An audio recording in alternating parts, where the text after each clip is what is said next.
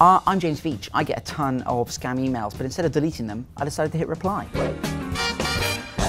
I am Cho Mak, a staff of Dasong Bank, Hong Kong. I would like to intimate to you certain facts. Intimate away! A client deposited $13.9 million in an account at our bank. A few months later, he was apparently dead. He listed no next of kin. My proposal, I will nominate you as the next of kin and have them release the deposit to you. Yours sincerely, Cho Mak. I am your man. But Cho, may I call you Cho? How can I pass for your client? Will I need to grow a moustache? Call me Cho. I will ensure that the project goes smoothly. You do not need to grow a moustache.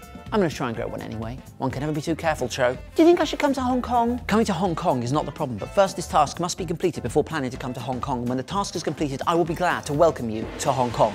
Cho, I've, I've looked at tickets and they're pretty pricey. Cheeky question, could I stay with you so I don't have to get a hotel? Happy with sofa.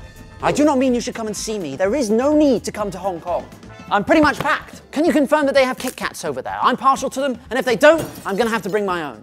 You do not have to travel anywhere for any reason there are Kit Kats. Wonderful news about the Kit Kats. I just wanted to check that it's still okay to stay at yours. Just FYI, I will be bringing three small dogs. Please do not come to Hong Kong. I'm here in Hong Kong. Wow, this place is big. Uh, where's the best place to meet? Gotta go though. I, I thought this was an internet cafe, but it might actually just be someone's house.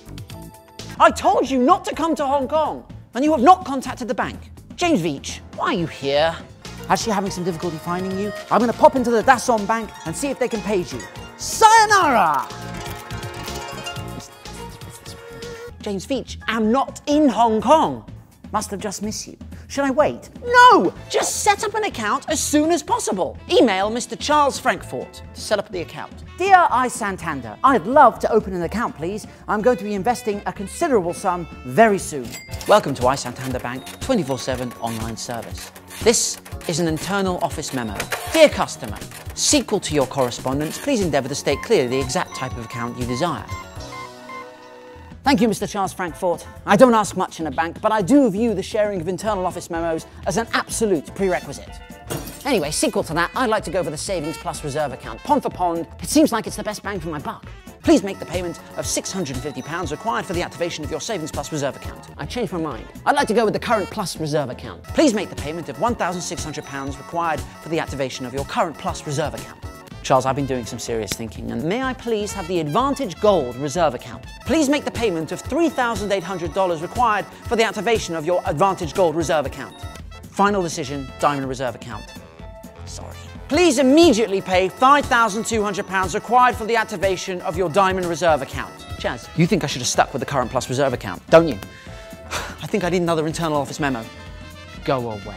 Sold! My name's James Veitch, and I've been replying to loads of scam emails. There are loads of basically more just up there that you can you can see, and you can also hit the subscribe button down there because if you subscribe, you're going to get to know you're going to get to know about. Or just subscribe, just here.